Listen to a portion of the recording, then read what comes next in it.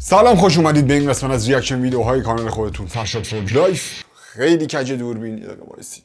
بهترید الحمدلله. الان. تو این ویدیو قراره با هم دیگه بریم. به مناسبت سالگرد درگذشت و آسمانی شدن حسین اپیکور. یه track از اپیکور گوش کنیم. کلا من فکر کنم سه چهار تا کار از اپیکور گوش دادم. و این track مثل اینکه به یادبود حسین سال 2017 امیر و آرمان چی بود اسم اون یکیشون؟ آره امیر آرمان که lyric داره که نداره. بچه یه نکته مخفی توی ویدیو هست که اولین کسی که توی کامنت دقیقه و ثانیه نکته مخفی رو بنویسه comment ش pin میشه و یه سری لینک تو description هست به علاوه لینک موزیک لینک اینستاگرام توییتر playlist اسپاتیفای playlist ساوندکلاود کانال دوم یوتیوب و page تویچ.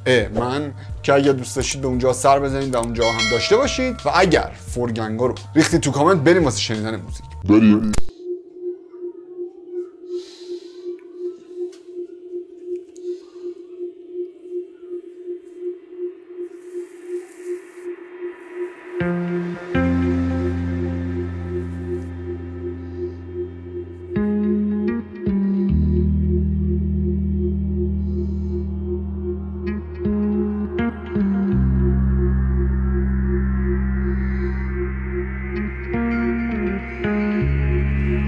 میام پیش داداش میام پیشه حیف همیشه این ته خط انگار یه تیر داره میاد و میره سمت قلب انگار یه چیزی نمیره پایین. گیر دم حلقت فکر کردی داد بزنی همه می‌رسن به حرفت. حیف همیشه این آخر خط. اوضاع همش همین بوده و همینه با معرفت. تو رفتی و نور شدی و رسیدی ببینی فردا رو. این دل خسته منم میره تا لب مرگ. تو آینه میگم کوش بچه اون قلب عارفانت. هی میدوی با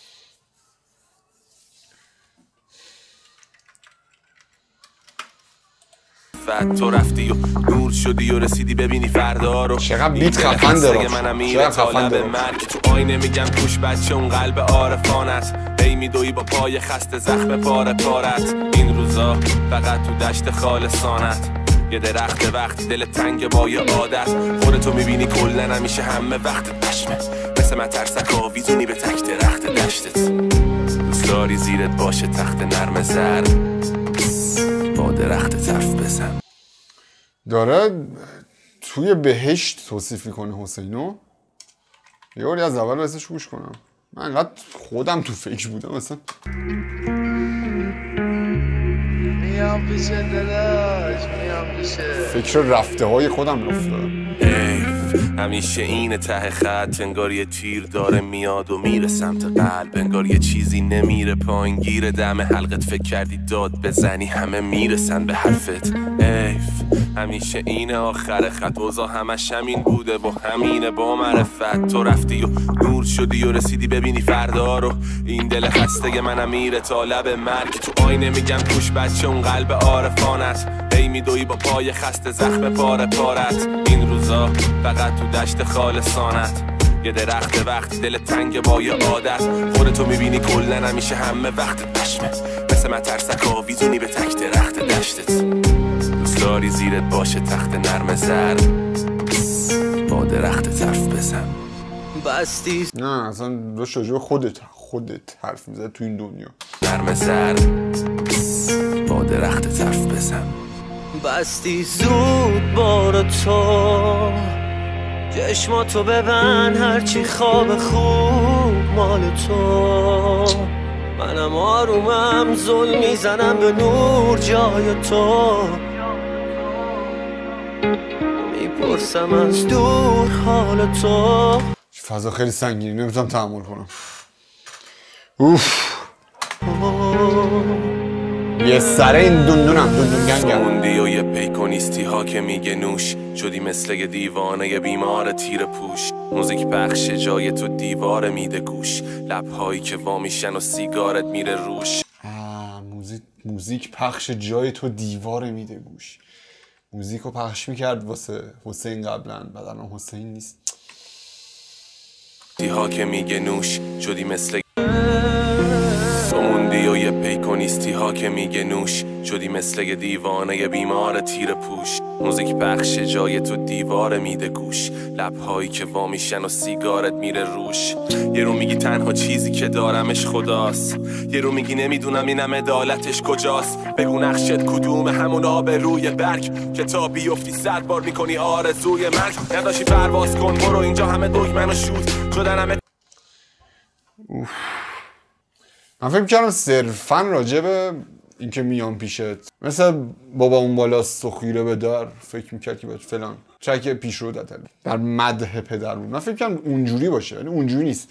موضوع موضوع چرا هی میگم؟ موضوع غلطه. موضوعونه. ولی از اون موضوع استفاده شده واسه بیان یه سری چیزای دیگه. حالتش کجاست؟ بگو نقشت کدوم؟ همون آب روی برگ. که تا بیفتی صد بار می‌کنی آرزوی مرگ. نداشی پرواز کن. برو اینجا همه دکمن و شود شدن همه کودن و کور فقط پر عقدن و زور از دستن فرصت و زود بندا جسم مفبر و دور. چه خوب زود رفته که تو هم نری پی قدرت و پول داری میری بگو لعنت به این ساختن و لعنت به همه خرابی ها. که تو هم نری پی قدرت و پول داری میری بگو لعنت به این ساختن و لعنت به همه خرابی ها. قدیمی ها الانی ها وطن پرستا فراری ها. لعنت به جنگ و صلح و گنج و هرچی رنگ و دود. برو جاد بهشت. پیش خدا مست. و سود بستی زود پیش خدا چی؟ دود برو داشی جاد بهشت. پیش خدا مست. و سود بستی. زود بار تو. یه حالش خیلی خوب نبود بیخیال شد قافیارم چشماتو ببن هرچی خواب خوب آره، با این جمله نگید هیتر اپیکوری. تو. از دست شما یزیدتون شد. زنم به نور جای تو. می‌پرسم از دور حال تو. میسپرمت به دریا. ای خورشید به تا فردا.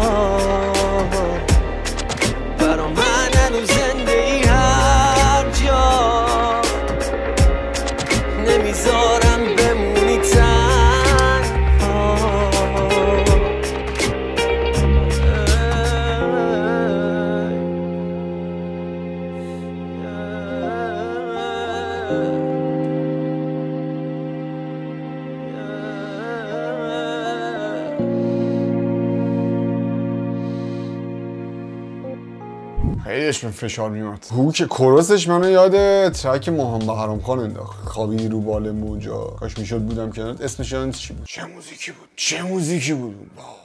وای. اگه میشه اون زمان یه موزیک اینقدر نوس... نوستالژی نیست. واقعا همین الان اون موزیک خوبه. خب بچه از یه نظر من خیلی خوشحالم که حداقل اینه می‌دونی خیلی چیزامون شبیه رپ آمریکا نشد اینمون مثل رپ آمریکا نشه که هر هفته یه رپر جوون تو آمریکا داره میمیره. هر هفته که حالا هر ماه واقعا ولی این اتفاق داره میفته از من حضور ذهن ندارم ولی حسین یکی از معدود کسایی که زود رفت. من کسایی که خورده شناخته شده ترن دیگه خورده بیشتر میشناسیمش که تو جوونی رفت و مثلا می‌بینی تو اوج کارش بود و ادون رفت. میگم این قضیه توی رپ آمریکا اصلا یه چیز کاملا روتینه که رپرها با سن کم همه از دنیا میرن. حالا چه در اثر خفه شدن چه در اثر تیراندازی چه در اثر drug overdose. حالا مهم نیست در اثر چی ولی اتفاقا میفته همیشه. توی رپ آمریکا. و و حالا تو این چند ماه اخیر دو تا از اسطوره های رپ آمریکا هم از دنیا رفتن. اولیش MF DOOM بود دومی DMX که از نسل این دو تا رپری که گفتم خیلی آدم هستن که هم نسل اینا بودن و همون دوره های اوجشون از دنیا رفت. چه می‌دونم توپاک بی آی جی بیگ ال نمی‌دونم. ایزی که قبل از این اتفاق از, دنیا رفت. نمی‌دونم. خیلی زیاده. اسم زیاد حضور ذهن بیشتر از این ندارم. بحث MF DOOM شد. من یه چیزی دوست دارم اینجا بگم تو این ویدیو. بعد از مرگ MF DOOM یه آماری منتشر شد که استفاده از اسم MF DOOM چه search چه آپلود باشه چه نمی‌دونم چی هر چی. استفاده از اس- اسم MF DOOM توی اینترنت حدودا 500 درصد بیشتر شد. توی همون چند روز اول اینکه خبر مرگش منتشر شد. توی برخورد اول و نمی‌دونم یه خورده احساساتی و آدم شاید بگه که این مصداق نمی‌دونم مرده پرستی و این صحبت هست. خب ولی قضیه اینه که از نظر من زمانی این قضیه احترام گذاشتن به کسی که از دنیا رفته یا حرف زدن راجع به کسی که از دنیا رفته یا هر چیزی. زمانی مرده پرستی حساب میشه که وقتی زنده است بهش توجه نکنی و به خاطر اینکه طرف از دنیا رفته بهش توجه کنی. می‌دونی مثل چی مونه مثل یه آدمی که مثال بزنم راحت‌تر یه آدم مثلا فرض کن. فلان آرتیست مثلا artist A. گوش نمی‌داده گوش گوش می‌داده. ولی مثلا پیش خودش آدما این چیز ذهنشون دارن. استوریش نکنم شاخ نشه نمی‌دونم اینو بهش نگم پر رو نشه این کارو نکنم اینجوری نشه یا اصلا به هر دلیلی. اینا یه سری از دلایل یه سری از دلایل احمقانه شه به هر دلیلی. به طرف اون فاز مثبت رو نمی‌داده ولی موزیکشو گوش می‌داده. خب؟ ولی حالا بعد از اینکه از دنیا رفته شده نمی‌دونم اون آرتیست شماره A artist A شده نمی‌دونم بهترین رپر دنیا و نمی‌دونم استوری می‌ذاره ازش. RIP می‌زنه استوری می‌ذاره RIP می‌زنه روش فلان. این به نظر من میشه مرده پرستی. یه موضوعی از بچه‌ها که منی که یا مثلا 4000 تا. ستون گنگ تو page م هستن 4500 تا. و یه تعاملی بین هم داریم. آقا من محتوا تولید می‌کنم. بچه ها نظر میدن. یه سری پیام میاد واسم. خب یه مقیاس کوچیکتری از کاری که یه آرتیست داره می‌کنه کاری که من می‌کنم. خب حالا کار آرتیست یه خورده هنری تره محصولی که تولید می‌کنه. حالا کاری نداریم. ولی یه شباهت هایی میشه یه شباهت هایی با هم دیگه دارن خب؟ این حرف از من بشنوید که یه دونه مسیج یه دونه مسیج انرژی. حاوی انرژی مثبتی که شما به منی که حالا دارم این محتوایی تولید می‌کنم یا آرتیستی که داره محصول تولید می‌کنه می‌دید می‌تونه واقعا از جا بلند کنه اون آدمو و واقعا انرژی به اون آدم بده که شاید به خاطر یه سری اتفاقا مثلا شاید ناامید شده باشه شاید فس باشه. یه دونه مسیج یه دونه کامنت یهو می‌بینی از از جا بلند می‌کنه اون آدمو که برای من این اتفاق افتاده. الان خیلی دوست دارم مسیج رو بخونم واسهتون. یکی از بچه‌ها تو... یکی از بچه‌ها تو توییتر یه مسیج بهم داد من واقعا وقت نکردم جواب بدم ولی اصلا خوندم مسیج طولانی بود. از اول تا آخر مسیج قشنگ نیش من اینجوری باز شد نیش درونی ما زیر پوستی نمی‌دونید چقدر تاثیر می‌تونه داشته باشه. از اون طرف ولش کن. اون طرف قضیه ند- نگیم فقط جنبه مثبت قضیه رو بگیم. فرض می‌کنیم اون طرف قضیه نیست. فرض می‌کنیم یا آدما کامنت کامنت مثبت می‌ذارن یا کامنت نمی‌ذارن. فرض می‌کنیم که اون فوش و بد و بیره الکی و بی‌منطق نیست. می‌خوام اینو بگم که بچه کسایی که باهاشون حال می‌کنید چه 10 تا حال می‌کنید 50 تا حال می‌کنید 80 تا حال می‌کنید. به همون اندازه که حال می‌کنید بهشون حال بدید. این منتقل کنید این قضیه رو. خیلی می‌تونه متحول کنه. حس و حال کسی که این حرف رو بهش می‌زنید یا این حاله رو بهش می‌دید یا این انرژی رو بهش می‌دید. و حالا مرگ یکی از دلایلیه که آدم از یه چیزی از کاری که داره می‌کنه کنار می‌کشه. دیگه نمی‌تونه یعنی اون کار رو ادامه بده. خیلی دلایل دیگه است. خیلی دلایل که واقعا با چهار تا حال دادن چهار تا کامنت چهار تا استوری چهار تا مسیج واقعا مشکله برطرف میشه و اون ناامیدی از بین میره. خواستم بهتون بگم که بچه اینو حواستون باشه به این موضوع. اگه فکر نکردی به این موضوع فکر کنید یکم. خیلی می‌تونم مثال بزنم راجع به این قضیه که خودم چقدر حال حال کردم از طرف کسایی که بهم حال دادن. خودم به یک یه سری آدما همین حاله رو دادم و تاثیرش رو دیدم. خیلی می‌تونم مثال بزنم. تا این ویدیو خیلی طولانی میشه.